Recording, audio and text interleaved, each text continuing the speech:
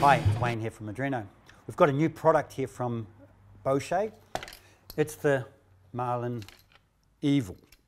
This is a gun for the, the new person, someone beginning at the, uh, the early stages. It's a, a, a very um, price pointed gun. It's got a stainless steel spear. Now, I'm not a big fan of the stainless steel spears, but the option is, is later on you can put in a spring steel spear, which is much harder spear. And the beauty about this gun actually is the options. It's a rail gun. So it's a rail gun and a really good price point from it. You could put a heavier spear in it and you can add another rubber to it. Okay, you've got space for adding another rubber and this turns the gun into something quite punchy. It has the uh, the uh, Marlin trigger mechanism. So it's a, a, mechanism that's quite proven itself and can handle the extra rubber. Has a spot for a reel. You know, with a, a, a solid spear and a couple of rubbers, it would be quite a, an acceptable Dewey gun.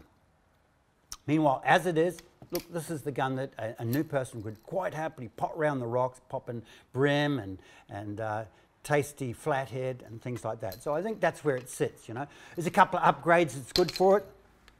Probably good to have a, a muzzle bungee on it, okay, as well as the extra spear and, the, and, and, if, and if you're into it, the extra rubber.